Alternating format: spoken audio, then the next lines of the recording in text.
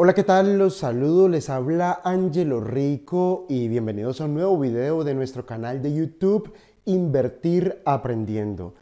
El día de hoy creo que vamos a tener un análisis muy interesante porque vamos a hablar acerca de un valor que algunos de ustedes me, me han pedido que analice durante los últimos días y estoy hablando de la Occidental Petroleum Company. Eh, yo creo que si ustedes están más o menos familiarizados con lo que ocurre en los mercados, eh, el precio del petróleo, tanto la referencia Brent, que es la referencia de cotización en Londres, como la referencia West Texas, que es la referencia de cotización en Nueva York, estas dos referencias que son las principales para el sector energético y específicamente para el petróleo, Ambas referencias nos han mostrado un movimiento bajista vertical y rápido. Y por supuesto que esta caída en los precios del petróleo que eh, tiene varios orígenes y es un caso que analizaremos próximamente, esta caída en el precio del petróleo es lógico que afecta a los precios de cotización de las petroleras a escala global independientemente del tamaño de la, de la, petrolera acerca de la cual estemos hablando. Y en este caso, la Occidental Petroleum Company eh, no ha sido la excepción. Entonces vamos a realizar un análisis y decidí escogerla precisamente porque nos está mostrando el tipo de movimiento del cual creo que todos, y me incluyo, podemos aprender. ¿Por qué digo que me incluyo a pesar de que en términos generales yo creo que soy un experto acerca de los mercados? Me incluyo porque cada vez que yo realizo un video como estos, y por supuesto lo hago para servirles a ustedes y para eh, llevarlos por el camino acerca de, de una mejor comprensión acerca de cómo funcionan los mercados a pesar de que mi objetivo principal es servirles a ustedes, es ayudarles a ustedes, en el camino me estoy ayudando a mí mismo porque estoy refrescando el conocimiento y estoy trayendo todo ese conocimiento al presente para aplicarlo en mi operativa. Entonces, lógico que el que más aprende de todo esto soy yo, a pesar de que quien está exponiendo el conocimiento soy yo. Pero más allá de todo esto, escogí a la Occidental Petroleum Company porque nos está ofreciendo eh, el tipo de movimiento del cual creo que todos nos podemos beneficiar, pero ojo, beneficiar no tanto eh, porque podamos ejecutar algún tipo de operación eh, con esto que aquí está ocurriendo y donde enfatizo en que esto, estos videos no son una recomendación de inversión, que nadie se equivoque con esto. Aquí no estamos hablando entre niñatos, Aquí no estamos hablando con bebés, aquí estamos hablando es con adultos que quieren comprender cómo funcionan los mercados y que no necesitan que otros les digan lo que tienen que hacer, porque creo, supongo, y eso es lo que yo espero, cada uno de nosotros somos lo suficientemente grandecitos para tomar decisiones por cuenta propia y de esta forma no tener que echarle la culpa a otros a causa de nuestros errores. Esto no es un consejo de inversión, es sencillamente eh, mi visión acerca del mercado, es, es, sencillamente mi interpretación acerca de lo, que, de lo que allí está ocurriendo y a partir de allí cada uno debemos desarrollar la habilidad para sacar nuestras propias conclusiones. Habiendo dicho esto, este es el tipo de movimiento del cual estoy completamente seguro que todos podremos aprender, no tanto por lo que podríamos hacer aquí, sino por lo que esto podría representar en un futuro sobre futuras operaciones o sobre futuros movimientos en los mercados. Antes de comenzar con el análisis que, he preparado para la OTSI, decirles lo siguiente. Muchas personas me han comentado que, se, que no les llega la notificación cuando nosotros subimos un nuevo video. Y aquí decir, decir lo siguiente, la mayoría de las veces, a pesar de que estás suscrito al canal, la mayoría de las veces YouTube no notifica. Entonces nosotros como suscriptores y como personas que estamos, nos estamos beneficiando del canal Invertir Aprendiendo, los pasos que tenemos que dar son los siguientes. El primero de ellos, hacer clic en la campana que encontrarás creo que a este lado del video. De esta forma reforzarás un poco el criterio del algoritmo de YouTube para notificarte acerca de nuestras actualizaciones. Lo segundo es estar atentos al canal, porque incluso haciendo clic en la campana, a veces YouTube ni siquiera de esta forma notifica. Estar atentos eh, del canal, porque estaremos subiendo nueva información. De hecho, ahora que estamos hablando de OTSI, que es una petrolera, viene el análisis del petróleo, entonces yo sugiero estar muy atentos si es que esto nos interesa y si es que queremos aprender y profundizar en el conocimiento. Entonces, por favor, presten atención a lo siguiente. La Occidental Petroleum Company eh, nos venía ofreciendo un movimiento claramente bajista. Si visualizáramos el gráfico semanal, se vería mucho más nítido ese movimiento.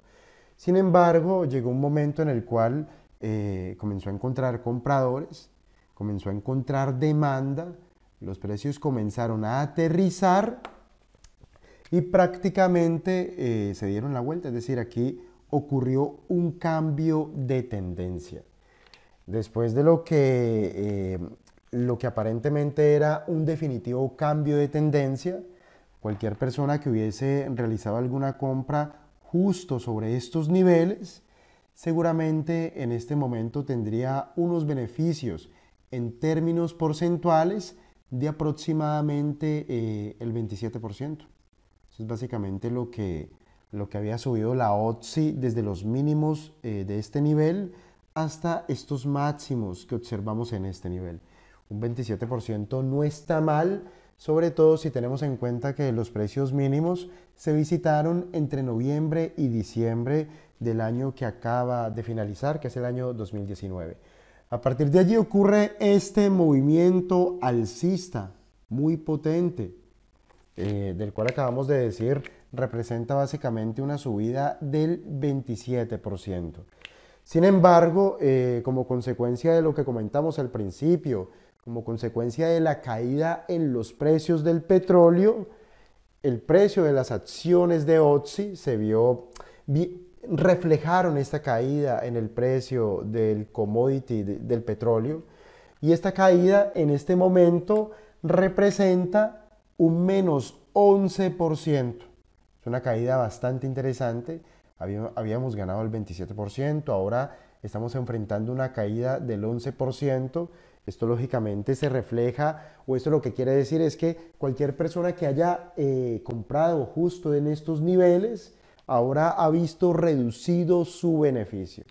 Pero entonces, por favor, presten atención a lo siguiente, porque creo que aquí es donde está la chicha de este video o está la mayor cantidad de aprendizaje que podríamos obtener con este video. Este retroceso es muy profundo, es un movimiento bajista vertical y rápido. Y los precios justo, justo tocan el soporte clave. ¿Cuál es el soporte clave? El soporte clave viene medido por eh, la línea de por el promedio móvil exponencial de más largo plazo, que en este caso es este de, color negro que estoy marcando ahora mismo. Entonces aquí está el soporte clave.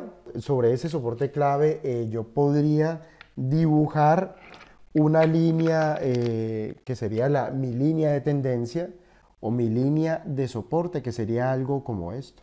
Esta es mi línea de soporte o mi línea de tendencia. Entonces aquí es donde viene, eh, de aquí es de donde parte el título de este video, que es la estrategia con, los, con las dos hipótesis.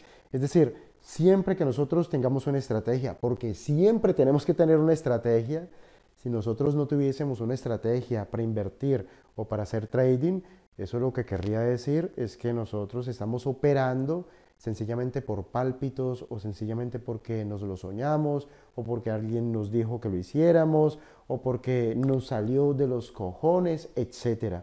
Y esa no es una forma profesional de invertir o hacer trading. Esa es una forma profesional y es una forma irresponsable de perder dinero.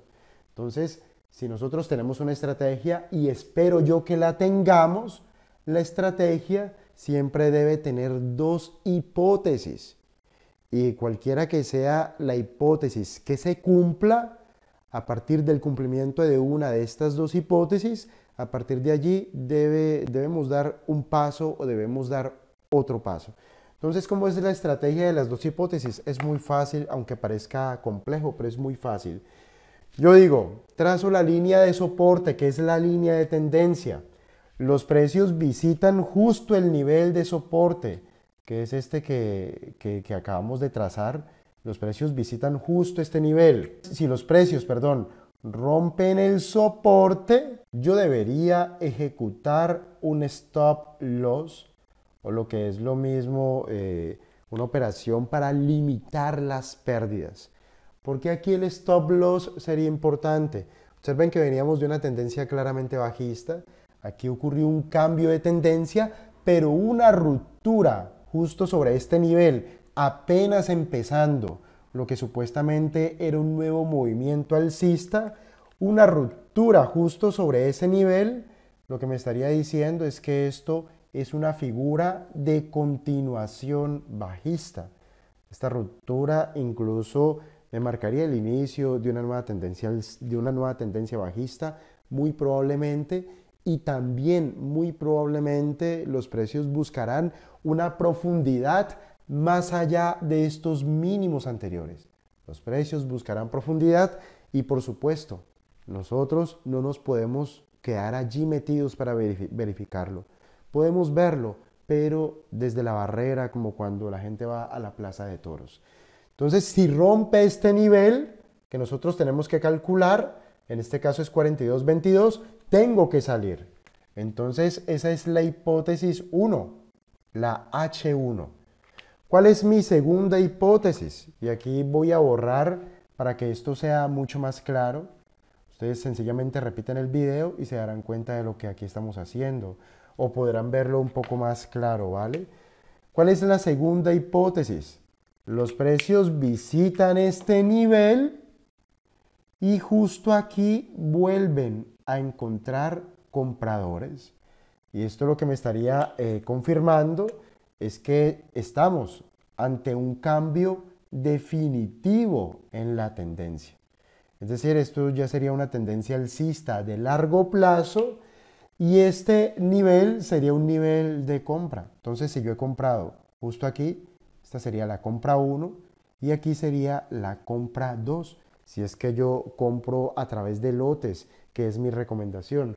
Nunca realizar en la primera compra gastarnos todo el dinero, sino que, lógico, dependiendo de, cuánto dinero estemos hablando, si tenemos el suficiente dinero, realizar una segunda compra cuando los precios nos confirman que estamos definitivamente ante el inicio de un movimiento alcista y en este caso los retrocesos serán oportunidad para comprar. Esta sería la hipótesis H2. Si los precios aquí encuentran demanda y vuelven a repuntar, yo debería hacer una segunda compra y si no tengo dinero para realizar una segunda compra, sencillamente mantener la primera compra porque estamos ante una evolución que nos favorece. No intentemos adivinar cuál será el futuro de esto.